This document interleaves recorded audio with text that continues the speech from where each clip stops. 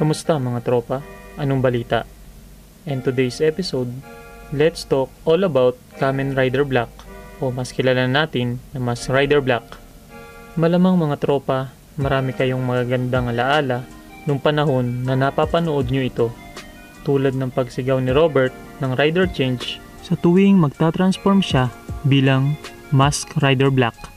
Nakasisiguro din ako mga tropa na ginagawa nyo rin na gayanin o i-imitate si Robert habang siya ay nagtatransform. Maging ako kasi, ginawa ko rin yun. Naaalala nyo rin sigurado ang kanyang pamatay na Rider Punch at Rider Kick, pati na rin ang kanyang motor na sina Battle Hopper at Road Sector. Nilikha ang Mask Rider Black ni Shotaro Ishinomori. Pero alam nyo ba, bago pa ito ay may sampu pang naunang mga Mask Riders siya si Kamen Rider ang pinakauna sa lahat. Unang iniere ang TV series na ito noong April 3, 1971 hanggang February 10, 1973 at meron itong 98 episodes. Siya naman si Kamen Rider CX ang pangsampu. Iniere ito sa Japan bilang TV special noong January 3, 1984. Bagamat hindi ito naging TV series, Naging makasaysayan naman ito sapagkat pinagsama-sama nila ang sampung Kamen Riders sa TV special na ito. Malamang mga tropa gusto nyong malaman kung ilan lahat ang Kamen Riders. Well, mahigit na sa isang daan lahat sila and counting.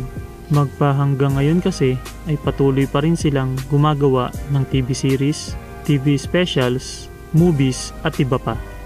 At alam nyo ba na ang latest sa series na ito ay ang Kamen Rider Zero One na unang iniere nito lang September 1 taong kasalukuyan. Okay mga tropa, balik tayo kay Mask Rider Black. Iniere ito noong October 4, 1987 hanggang October 9, 1988. Meron naman itong 51 episodes Ikinukonsidera nila na ang version na ito ang pinakapopular at pinaka-classic sa panahon na iyon at hindi naman natin may pagkakaila kung kaya't ito ang ipinalabas sa ating bansa noon. Ipinalabas ito sa IBC 13 mula 1993 hanggang 1998 tuwing linggo at isa nga ang Mask Rider Black sa mga TV shows na mas pinapanood sa mga panahon na iyon. Siya si Tetsuo Kurata ang gumanap bilang Mask Rider Black at bilang Robert Akisuke naman sa Pinoy version nito. Siya rin ang gumanap bilang Kamen Rider Black RX, ang sequel ng Mask Rider Black. Kagagraduate pa lang niya ng high school nang makuha niya ang role bilang Mask Rider Black at labing siyam na taong gulang siya ng mga panahon na iyon. Noong una, matapos ang audition, Inakala niya na hindi niya na makukuha ang role kasi pakiramdam niya na hindi niya na-portray ng maayos ang karakter na ipinapagawa sa kanya. Ngunit nung sa huli, siya pa rin ang napili para sa role at mismong si Shotaro Ishinomori ang pumili sa kanya.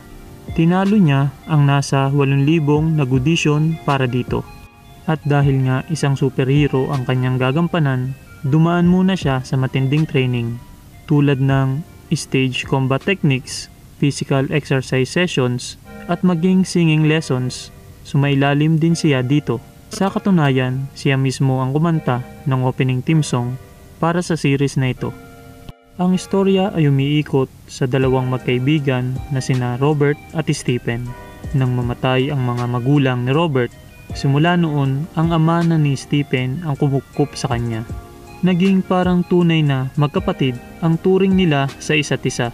Isang gabi, sa hindi inaasang pangyayari, kinidnap si Robert at Stephen ng mga gulgom sa araw mismo ng kanilang kapanganakan. At isa pa nga pala mga tropa, sabay silang ipinanganak at nasa labing siyam na taong gulang na sila ng araw na iyon. Ang mga gulgom ay isang grupo na naghahasik ng lagim sa buong mundo Binubuo ito ng mga mutants at maging mga tao na may masasamang loob. Layunin ng grupong ito na sakupin ang buong mundo. Ang mga gulgom ay pinamumunuan ng mga tinatawag nilang High Priest. at sila ay tapat na tagasunod ng isang Creation King.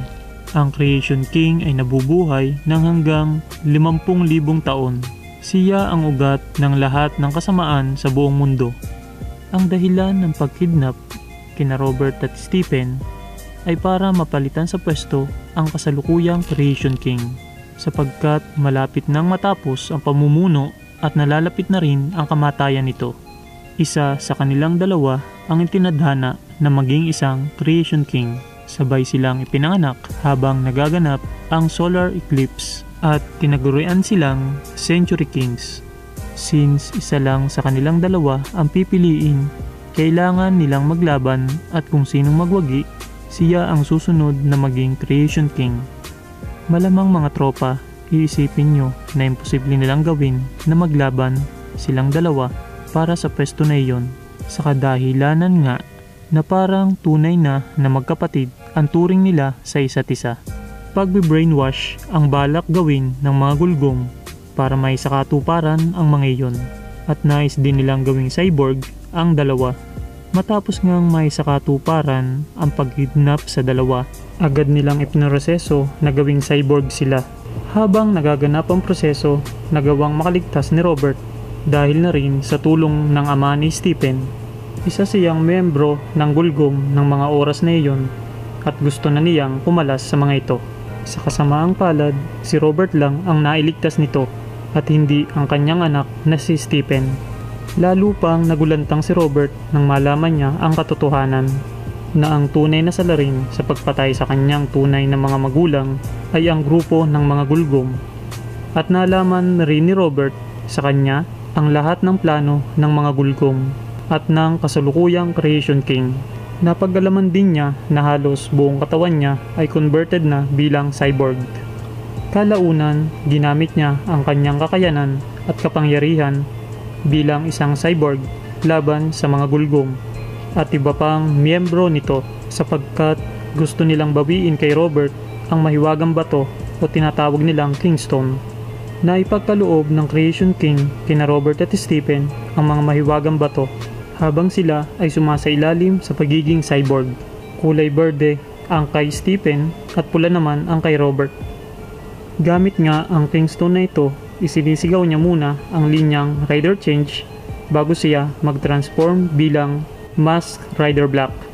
Pakay ni Robert na iligtas si Stephen sa kamay ng mga gulgong at tapusin ang kasamaan ng mga ito.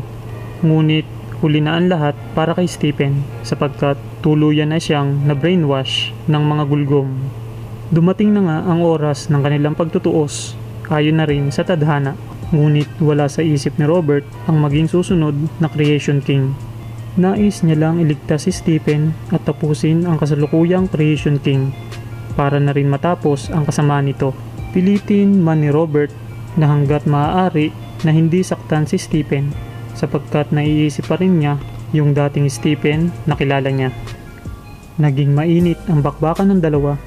Maging si Battle Hopper ay nagbuwis ng buhay sa labanan nilang iyon. At alam nyo ba, nasa mga oras din na iyon, sa unang pagkakataon nagsalita si Battle Hopper upang magpasalamat kay Robert. At makalipas nga ang ilang sandali, tuluyan na siyang namatay. Labis itong kinagalit ni Robert at ipinangako niya na bibigyan niya ng katarungan ang pagkamatay ni Battle Hopper. Makalipas ang ilang sandali, sumunod na si Robert kung saan nagtungo si Stephen. At nakapasok nga siya sa lugar ng mga gulgom. Nakita niya ang trono ni Stephen, ngunit wala ni isa ang nandun.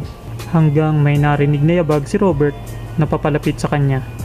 Bago pa maisagawa ni Stephen ang kanyang pagsugod, ay naunahan nito ni Robert Gamit ang sariling espada ni Stephen, pinabaksak siya ni Robert.